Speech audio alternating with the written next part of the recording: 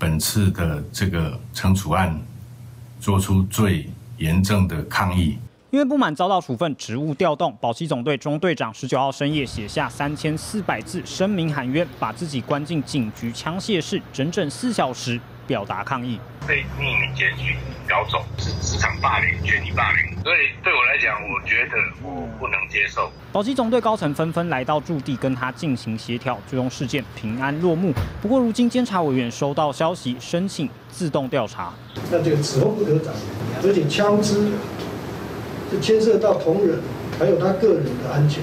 保期总队表示，庄里的过去因为多次不当行为才遭到调职处分，包括2017年曾言语骚扰女警，2020年在勤务中参加饮宴，2021年勤务中饮酒，因此认定他不适任主管职，经开会决议调职处分。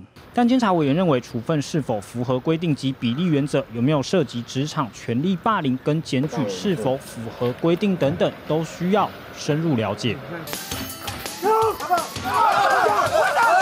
事实上，保期总队的业务包含卫环、石安、水库、森林、环境保育，还有国家公园，范围遍布全台，因此警力分散，难以管理。肖代全小队长，他是在南方四岛警察小队担任队长。好，那执勤的时候，因为没有巡逻船。到，那后来他就贴脸书。二零一七年，宝溪国家公园警察队小队长肖在全也曾因为在禁渔区前驱赶渔民，执法过严，引发民怨，导致将近一个月无船可出海。宝溪总队业务繁杂，辖区从本岛到外岛，该如何控管，成了警政署的头痛难题。金新闻徐志成、严凯旭采访报道。